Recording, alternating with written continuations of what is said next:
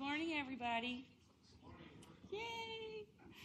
Welcome to the Grow Green Landscape Professional Training Day 5, um, the Firewise Landscaping Day. I appreciate you all being here. And um, we have a really great lineup today. I'm so excited. We have the Austin Fire Department represented, we have Watershed Protection, we have someone from the Wildflower Center. So I think it's going to be a really, really informative day for you. Um, I'm going to step aside and let Justice Jones be your MC for the day. Um, so I'm going to introduce Justice. He is a program manager for the Wildflower Division at the City of Austin. He has two bachelor's degrees from University of Texas. One is in environmental resource management and the other one in cultural anthropology. That's an interesting mix, Justice. Um, he also was in the Air Force, um, where he participated in many missions, including Desert Operation Desert Storm. He's also an International Society of Arboriculture um, certified arborist, which is really cool because how many firemen are arborists too? Um, he's also um, worked in in New Mexico with the village of Ruidoso, and there's a whole bunch of other stuff he's done, but I'm just going to let him tell you and introduce him. So please help me welcome Justice Jones.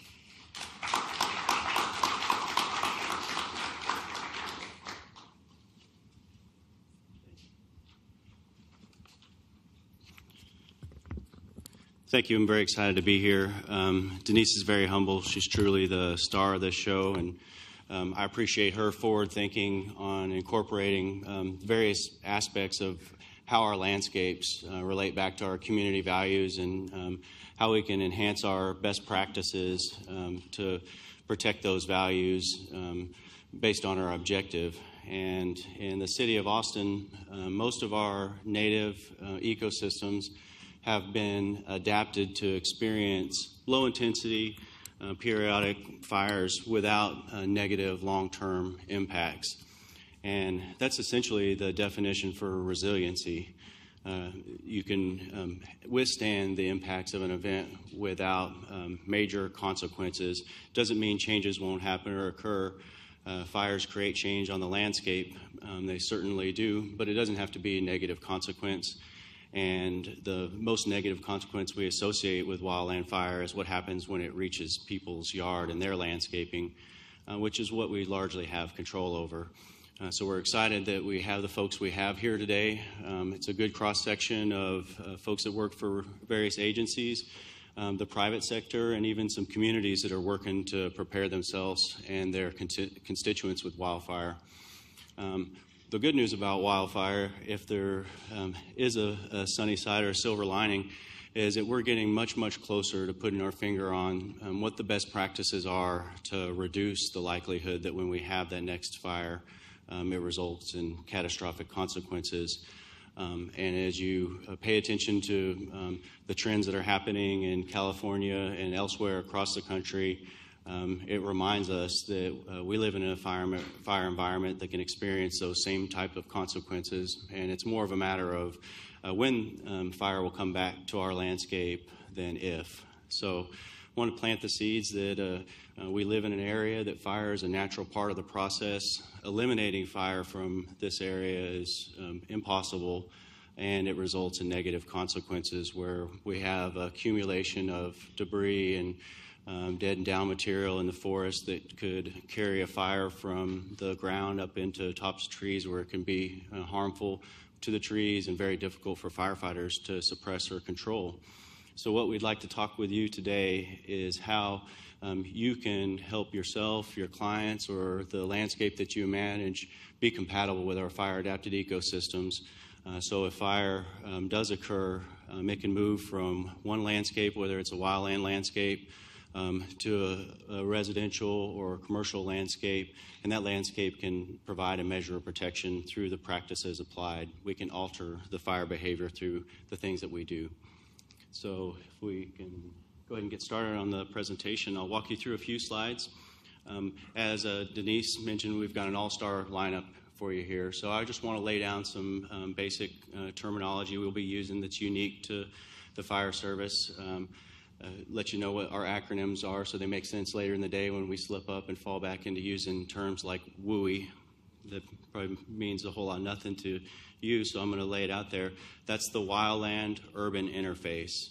And so think where do homes, our built environment, uh, mix and intermingle with our natural environment? And what is usually between the homes and that natural environment?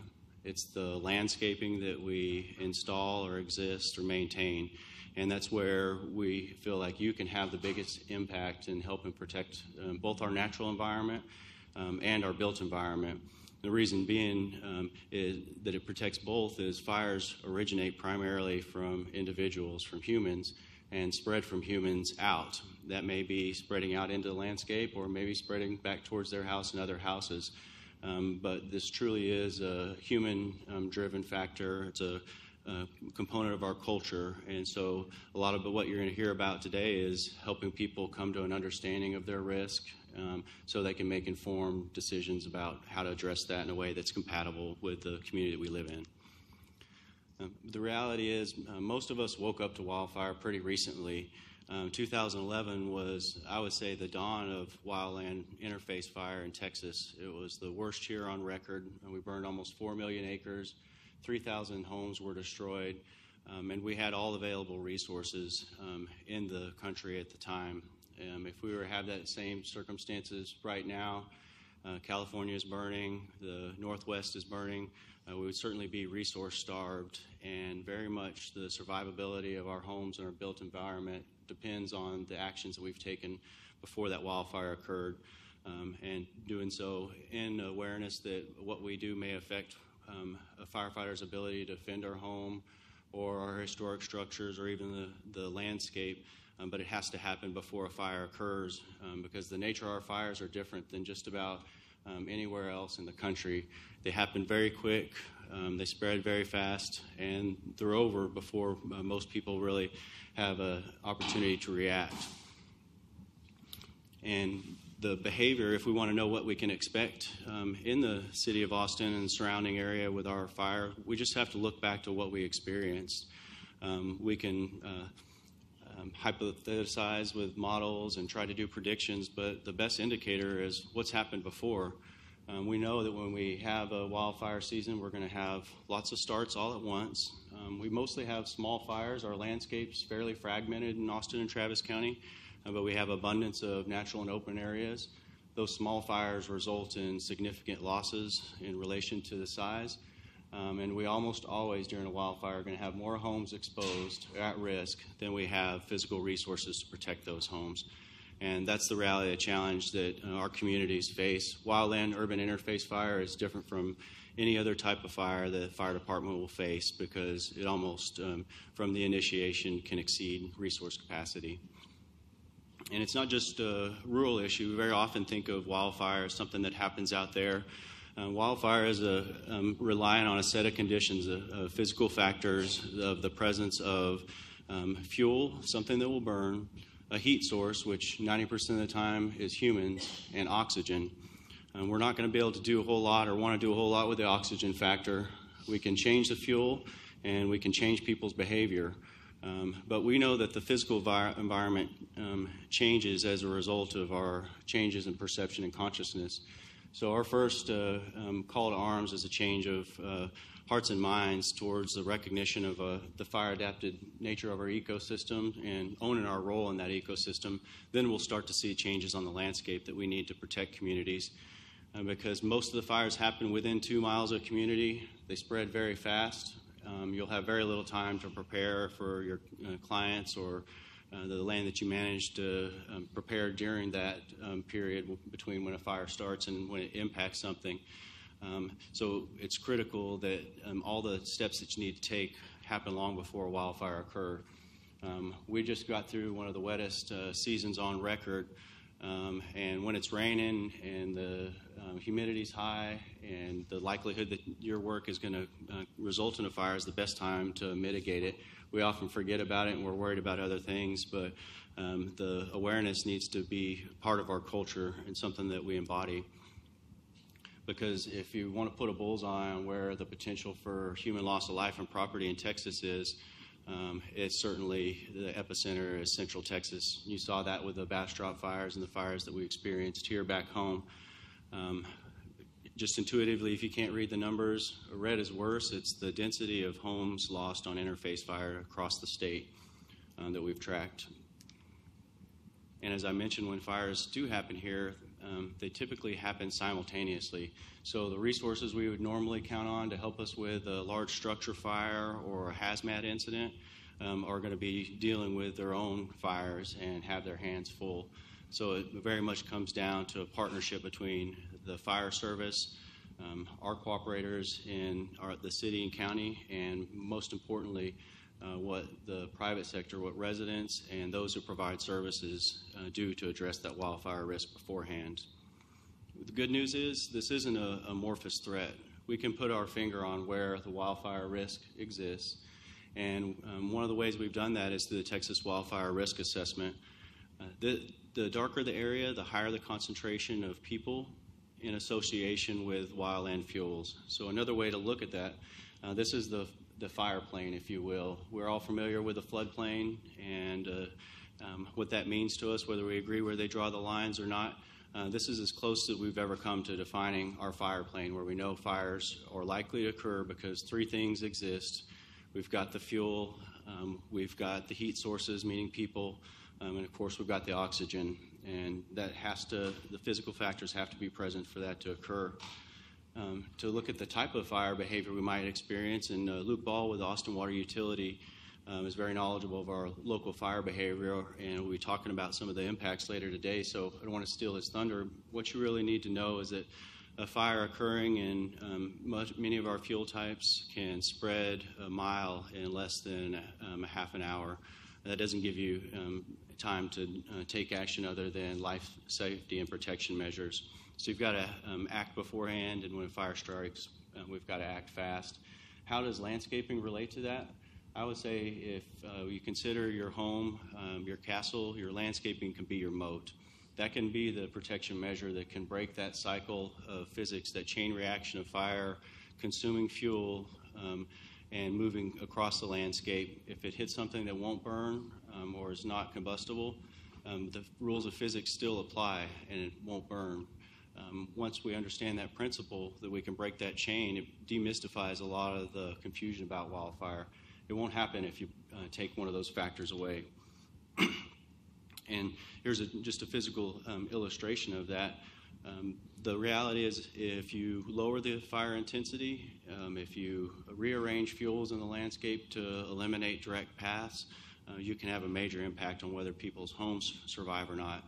And as land managers, landscapers, I'm not sure if you've thought about it from that perspective, um, but the service that you provide very much is a public safety service. If you ask a firefighter like Josh Anderson uh, what type of environment that he needs to show up to be effective, um, those environments are being largely designed and controlled to some degree by folks um, in this room. And so both you have an opportunity um, because uh, this is a, a, valuable skill to have and to be able to market to the public, and you have a responsibility to make sure um, that you know if you're working in a high risk area, you're not doing anything that's again inadvertently create harm for your clients. Um, you want to help them, you want to sustain their business, and the best way to do that is to make sure that their home and landscape stay intact, right? Uh, if you want to return business, you got to have a home to come back to, and you have an important role in making sure it stays there. Um, but it starts with an understanding of um, what the real factors that influence um, how homes burn um, and some of the myths that surround them. So I just want to go through this pretty quickly, and then I'm going to turn it over to Mr. Bittner with the Texas A&M Forest Service, who's um, got subject matter expertise in this, is one of our key partners in wildfire mitigation. And one of the myths is it takes a big fire to cause major losses.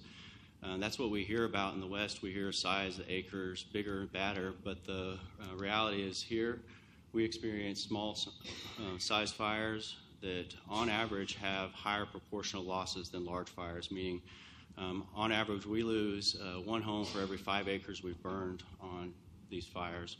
Pinnacle fires, 100 uh, acres, 10 homes lost. The Steiner Ranch fire, um, 125 acres, 25 homes lost.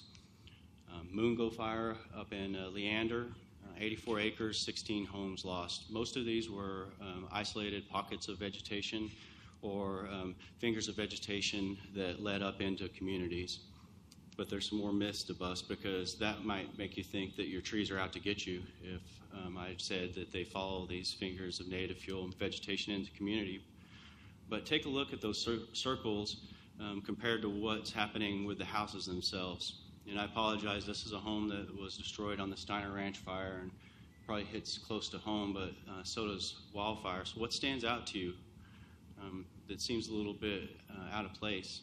The houses are burning, they're fully involved, but none of the trees are burning. That just doesn't seem right, does it? It's pretty much the opposite of what we've been told our whole uh, lives or uh, taught to assume. That doesn't mean trees adjacent to home can't be a problem. Um, but if you remove all the trees out of this yard, would that have made a difference of whether it burned or not? Clearly, it wasn't the fault of the trees. Um, it can be an issue, but it wasn't in this case in many um, instances that we saw. I don't know how this well this shows up, but sadly, uh, the rows down the middle um, are gray ash from homes.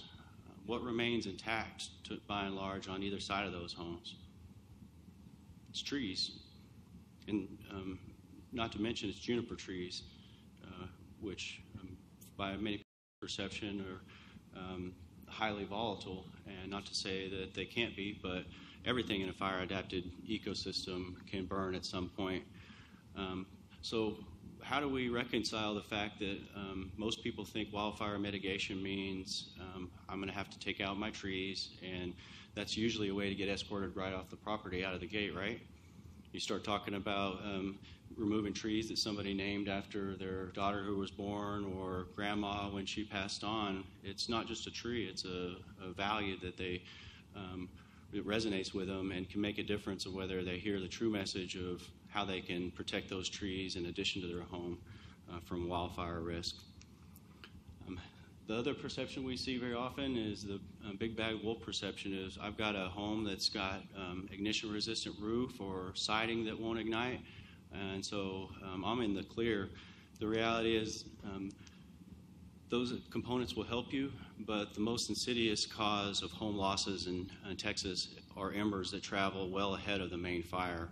The reason the, many of those homes ignited on Steiner Ranch before the trees did is because embers landed in areas around and in the home where it could have access and smolder and ignite long enough uh, to involve that structure. So the reality is we have to take embers into account when we're evaluating the risk to landscape. And why this matters for you, um, most of the people that we talk to that have a perception of risk are those that back up directly to natural areas or can see those natural areas, gives them some sense of apprehension. The reality and the fuel type that we live in, uh, we've documented embers traveling nine kilometers ahead of the main fire. What that really means is just because you're not in the woods doesn't mean you're out of the woods. Uh, if embers the biggest threat that our homes face, um, and we saw in the Pinnacle fire homes igniting two to three blocks ahead of, of the actual fire, um, this may be a more of a community-wide issue um, from a defensible space and land, landscaping standpoint than just going off in the wildland areas and cutting out all the trees because the reality is that ecosystem will burn. It's just a matter of how it can burn. Um, our homes and their ignitability are what we largely have control over, including that landscaping. This was uh, an interesting home. This was on the Cross Plains fire in 2005. Uh, if you notice, the fire burned um, through the landscape. If you can see that, it's very short residential grass, um, very little residential landscaping. Um, this is uh, eave uh, to the attic on one end of the house. That's the other end of the house. If you notice, the fire intensity around the entire perimeter of this home was spotty and uh, really low intensity. This was the first house in Texas documented to um, be confirmed lost from embers. Uh, there was very little fire around the perimeter. It got in the attic and burned the home from the inside. So that's one of the weakest links that um, we're confronted with. From a landscaping standpoint, those embers are going to rain down on a, a homeowners or a, a building surroundings as a snowstorm will. Anywhere they land, if there's combustible uh, materials, firewood, other things you're going to hear about today, it can be problematic. So um, keep in mind that uh, your clientele may be beyond the traditional perception of uh, risk being a factor of being adjacent to um, natural areas. Uh, windows that aren't with sign, uh, designed to withstand wildfire can be very problematic. And so, if you're evaluating a customer's landscape and they have single pane windows with um, bushes growing uh, right in front of them, especially if they're of a volatile nature, um, that can compromise uh, otherwise ignition resistant structure. Heat can radiate through the windows um, and break the glass and allow embers and other things to enter into the home. Uh, so there's a direct link between landscaping and whether uh, embers are able to compromise windows. And the big bad perception, and this is uh, scary for a lot of people. This is a picture of the, the uh, PK fire in uh, north central Texas. It's predominantly an oak juniper woodland, similar to what we see in some of the western parts of the county under very extreme conditions. Uh, this is a home that was located um, directly adjacent to this area. So, given your um, perspective, if you've got a wall of fire moving towards a home, um, that fast and that intense, what's the likelihood of a home surviving that? I would say it's very high if they have done the things that they need to do to prepare that home for wildfire. Um, this particular home had a metal roof, uh, largely non combustible siding. They had integrated some um, xeriscaping or other uh, landscaping principles um, that uh, reduce the spread of fire across the landscape and created an environment where fire crews felt comfortable um, in defending this structure. And the truth is, they had to do very little to protect it. Um, it uh, by and large, protected itself. Um, that's the same type of fire environment that um, we can experience without losses, but um, we've got to start by addressing the factors that contribute most to the loss, and much of that falls within your realm. And the biggest tough sell is that I've got to moonscape my uh, yard in order to have effective um, area that will prohibit fire spread. Uh, this is another home on the Cross Plains fire, very little landscaping. They had uh, debris and material stacked behind the home. Embers landed back there and ignited what otherwise would have been a really resistant landscape and a home. Uh, so we're going to go through some checklists today to help you understand the process for evaluating a home's risk, um, developing even a work plan or mitigation strategy that you can provide back to your partners or homeowners uh, so they have a game plan and you have a marketable tool that you can use to engage the public. Um, and I want to just really quickly um, leave off on a final note with the Bastrop fire. It was the third worst fire in U.S. history related to per capita losses. Over 600 homes burned in the first hour, and because the community of uh, Bastrop has a community wildfire protection plan, like uh, Austin and Travis County do, they were able to, to identify areas that were uh, so potentially volatile um, that their best option for life safety was to focus on evacuation. So the first part of that fire, they were getting people out of harm's way. What that meant, if we're moving people out, um, it's really hard for us to get in and operate safely. Our first priority as a fire service is going to be life safety. Um, you're going to hear a little bit about evacuation today in, in, general, but the reality is we can't fight the fire until the community is out and safe. Uh, so that uh, first hour, uh, first half of the day was very telling. What we saw is total of 2,853 homes that were destroyed, but 1,157 of them in that same footprint of the fire survived. So half again as many homes survived in the footprint of the most intense and catastrophic fire in Texas history, and they did so largely without the aid of suppression resources based on what the homeowner had done before the fire occurred, the construction of that home, and um, in many cases, uh, the little things that they did or didn't do that uh, made a huge difference. Now, everything they did would have helped a firefighter if they were able to show up, but the truth is, um, our focus is life safety, and in situations like this, we've got to make tough choices. They made the right choice to protect life, um, but it created a vacuum and an opportunity to um, evaluate um, what a house could do in, to protect itself and what homeowners could do to protect that house so it could stand alone. Um, so uh, don't underestimate the value that you add to the services you provide for your public or the city of Austin. And we're very excited that uh, you're here to learn about this. I hope you uh, take it home with you and uh, share this information um, in your yard if it matters, but with your clients and partners so they can protect themselves. Um, you have information that's equivalent of the, some of the first folks that have found out about the fire plane and that fire is a reality for us. Uh, we need you to be an ambassador and share that message, but we ask that you've got to do it with integrity. Um, selling a product as a wildfire risk reduction when there's no risk um, isn't what we're after, but helping people address their wildfire risk in ways that you can qualify by taking a look at the Texas Wildfire Risk Assessment or other factors to determine if there is a risk and how you can adjust your services to be most compatible with that environment. It's really what we're after.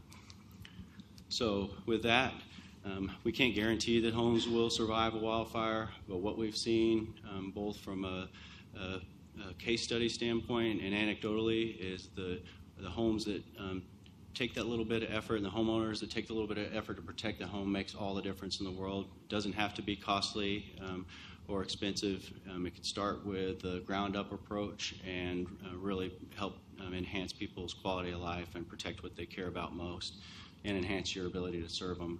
So, with that, I'll uh, leave it there. I apologize. Um, I have to go to another engagement directly after this. So, Lieutenant Josh Anderson and uh, Program Coordinator Linda Haney will help be will be helping coordinate the rest of the day.